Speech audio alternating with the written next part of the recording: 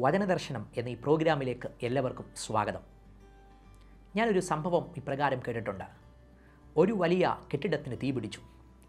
ആ തീ അണയ്ക്കുവാൻ ഒരു ഫയർ എഞ്ചിൻ വേഗത്തിൽ പാഞ്ഞ് ആ തീക്കകത്തേക്ക് കയറുന്നു.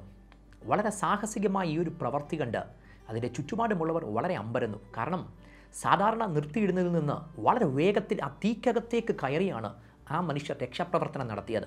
വലിയ കുഴപ്പമൊന്നുമില്ലാതെ ആ കെട്ടിടം രക്ഷപ്പെടുവാനിടയായി. അതിനകത്തുള്ളവരെ മുഴുവൻ പേരെയും രക്ഷിച്ചു.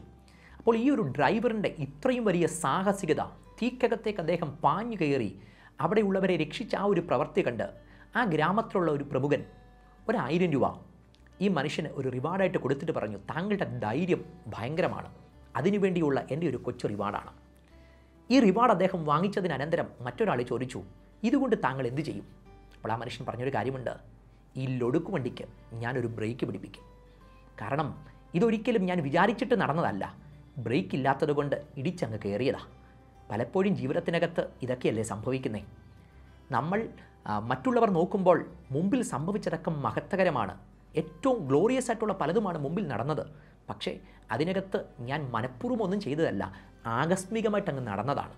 എന്നാൽ ഒരു ദൈവവൈദ്യന്റെ ജീവിതത്തിൽ ഒന്നും ആകസ്മികമായി നടക്കുന്നതല്ല. മറിച്ച് സകലത്തിന്റെയും പിൻപിൽ ദൈവത്തിന് ആത്യന്തികമായ ഒരു ഉദ്ദേശമുണ്ട് യേശു വ്യക്തമായിട്ട് പറഞ്ഞൊരു ഭാഗമുണ്ട്. ഞാൻ ഈ ഭൂമിയിൽ വന്ന് നിന്നെ മഹത്വപ്പെടുത്തി. നീ എനിക്ക് ചെയ്യുവാൻ തന്ന പ്രവൃത്തി തികച്ചിരിക്കുന്നു. ഇവിടെ വന്നത് ആകസ്മികമല്ല. ഇവിടെ ജീവിച്ചത് ആകസ്മികമല്ല. ഇവിടെയുള്ള ഒരു പ്രവൃത്തിയും ആകസ്മികമായി സംഭവിച്ചതല്ല. അവിടുത്തെ മരണം ജനനം ജീവിതം സകലതും എഴുതപ്പെട്ടതായിരുന്നു. അങ്ങനെയെങ്കിൽ അവിടുത്തെ സകല പ്രവർത്തികളും ആ പിതാവിന്റെ ഇഷ്ടത്തിന് അനിഷ്ഠിതമായിരുന്നെങ്കിൽ എന്നെ കേൾക്കുന്ന പ്രിയപ്പെട്ടവരെ നമ്മുടെ ജീവിതം വെറുതെ എങ്ങ് സംഭവിക്കുന്നതാണോ?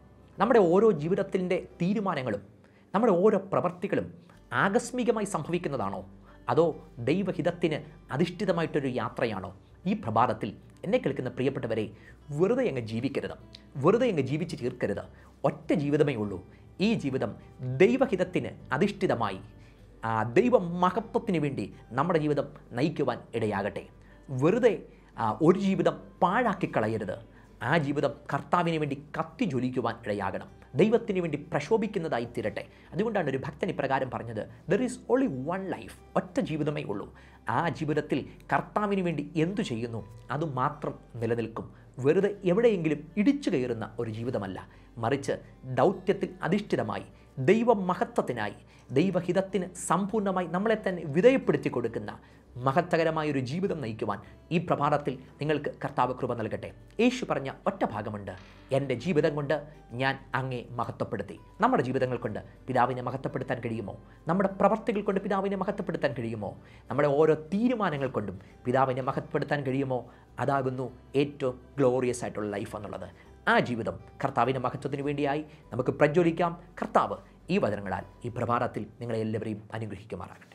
ക്രൈസ്തവ ദൃശ്യമാധ്യമ രംഗത്ത് ആത്മനിറവിന്റെ വേറിട്ട ദൃശ്യാനുഭവങ്ങളുമായി പൂർണസമയ സംപ്രേഷണത്തിലേക്ക് ക്രിസ്ത്യൻ ലൈവ്. ആനന്ദം ആശ്വാസം അനുഗ്രഹം. അവർ Facebook page Middle East Christian youth ministries subscribe Christian live W W dot Christian live dot in